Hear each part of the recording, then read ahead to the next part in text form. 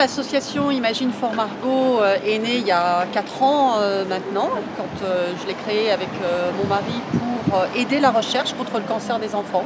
Nous avons trois axes principaux d'action.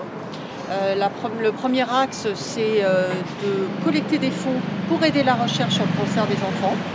Euh, depuis la création de l'association il y a maintenant 4 ans, c'est 2 300 000 euros qui ont été affectés à des projets de recherche pour développer de nouveaux traitements plus efficaces et innovants pour euh, les enfants. Ensuite, mobiliser euh, pour que l'on soit sensibilisé à la cause, parce que c'est 500 enfants qui meurent chaque année d'un cancer, donc ça veut dire plus d'un enfant chaque jour meurt d'un cancer. Et la troisième, la troisième action que nous menons, c'est d'aller dans les hôpitaux, aider les familles et les enfants euh, pour améliorer leur bien-être à l'hôpital.